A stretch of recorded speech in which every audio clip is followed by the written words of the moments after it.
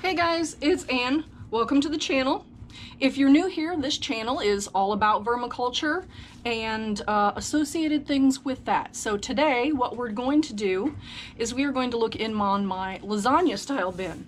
Now, I know you see shredded paper here on top, but generally this lasagna bin is only layers of cardboard that has not been shredded, food, and more cardboard, and usually kept moist enough to make the worms happy kind of uh, simulating uh, for anybody who might just want to do this outside or doesn't have a shredder you know, something that they can do and participate in vermiculture even if they don't have all the same equipment as we do. So it has been 67 days since the worm emergency where this was flooded. Um, and uh, it's been about 30, 30 or 32 days since we've looked in on this bin. And we fed them my um, worm chow because we thought the bin was getting a little bit too wet. So what I'm gonna do here is I'm going to peel back the layers of the lasagna and see what we've got. Looks like it has been drying out, so yay. Super happy about that. You can see a little cocoon here. I'll put him in on the wet part so they can, you know, get done. Here's one of my little friends. He's an arthropod, he's an isopod, and I don't know if you can see it, but here's another one of my little friends, a mite. Now, a lot of people freak out when they see mites. However, there's a thousand different uh, species of mites, and I'm not exaggerating, for real. Um, and the ones that you're gonna find in your worm bin are not the same species that are gonna hurt your plants. So just keep that in mind when you see these. They may creep you out because they're creepy crawlies, but they're here to do the shredding job for the worms and for the other creatures. So as weird as they are, they are good for the bin. Okay, so it looks like the lasagna bin has, has definitely made some progress here. All that shredded paper that I put in to absorb the water when we had that, that problem has been, uh, for the most part, okay, all right, pause on the theory here. Okay, so we were talking about those cherry red worms last time, and we didn't see one with a clitellum. Now this one has the clitellum, so I'm going to have to find a pot to put him in so that I can look at him underneath a microscope to see what kind of worm this is. And if you don't already know, the way that you can find out what kind of worm you have is by looking very closely at how many segments there are before the clitellum and not that you're going to be able to see this, but on the flip side, there are reproductive pores on the other side of the worm that you can also count how many segments there are from the clitellum. So I'm going to take this guy and I'm going to put him someplace where I can get back at him again and look at him under the microscope and then we will know is this a blue worm or red worm or one of those rubellus that came in on like some leaves or something. Okay, back to the plan. So the plan for today is to make sure that these guys have enough food for while I am gone on vacation and also when I get back from vacation when everything's a mess. you know how it is. You go on vacation and you always look forward to it, but then when you come home, you have all the laundry, all the housekeeping.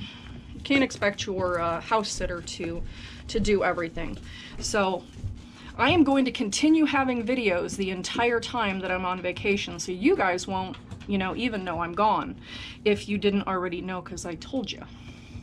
Does that make any sense? You know what I mean. If you're one of my worm people, you know what I'm talking about. So we've got a lot of uh, very finished stuff down there. Let's look on the other side and see what the worms are doing over here. So it looks like they are really doing a good job with all of their shredded cardboard. Okay, so here's another thing, sidebar. Again, that's just me. So everybody wonders about the Amazon black tape, what comes on your um, on your boxes. Now this is in-process tape. This is what it's doing. It's supposed to be compostable. And as we know, a lot of things that they say are compostable are not always vermi-compostable.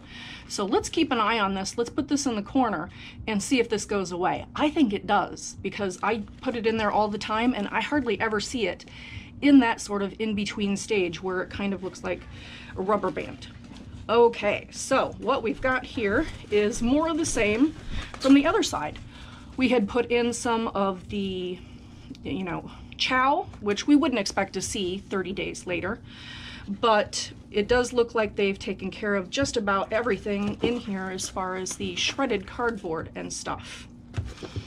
All right, well, clearly what we have here is we're ready for some more, more noodles. And since the worm emergency is over, I'm gonna take these dry bits out. We don't need those anymore. The bin has finally come to equilibrium and we should be good. All right, so usually how this goes, if you're new here, is we take off the dry noodles and we go down to here, which is the first noodle that is in process, the cardboard that is in process. So we wanna make sure we're going all the way across. And then I'm going to dump a very odd feeding, but it's that time of the year here. P.S. If you're liking this video, give it a money thumbs up. If you're not a member of my worm family and you're ready for all of that kind of craziness, click that subscribe button. And if you want to know what I'm doing when I'm doing it, ring that bell icon. All right, let me go get the weird food.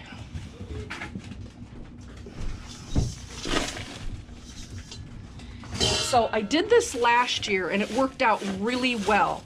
What these are is twirlers or keys, depending upon where you're from, from my maple trees, and I do have quite a few.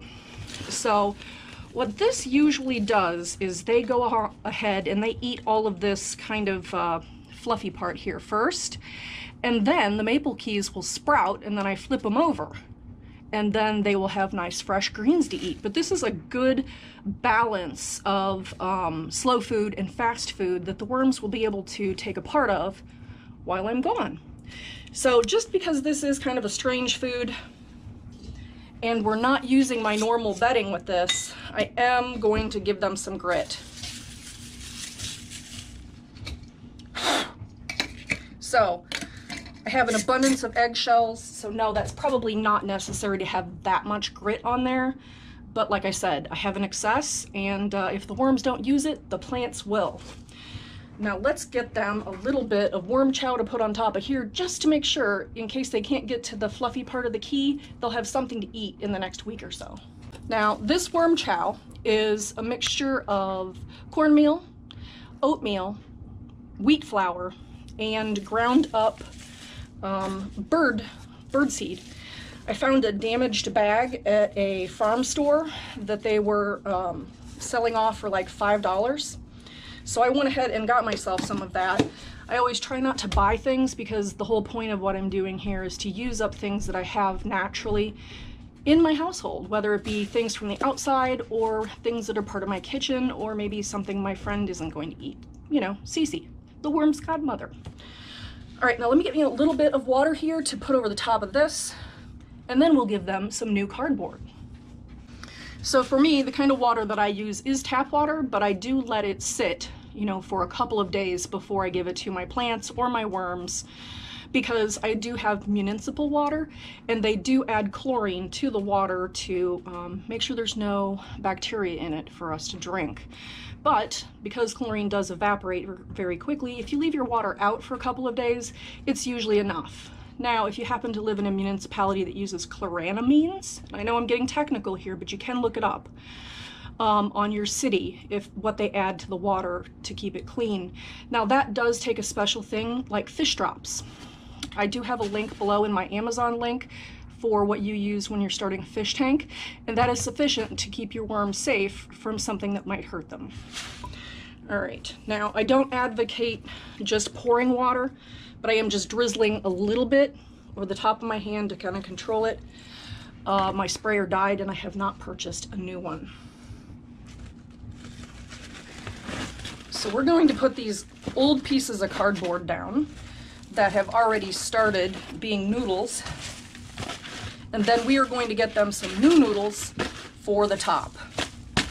Okay, so, and I try and soak them in water for a little, a little bit so that they're not completely, completely dry, and it also gives it a chance to get the uh, glue that's in between the layers of the cardboard started. Now, this particular experiment is not always everybody's bag, and some people are like, this is dumb, I'm never doing that. and if you're one of those people, I have a playlist over here for a totally normal bin that almost everybody can do and will enjoy. It's called my DIY bin. But if you like this bin, I have a playlist that I'm going to put over here of the history of the lasagna bin. And you can go right on over there and look at that right now. But thanks for hanging out with me and my worms, and everybody have a good day.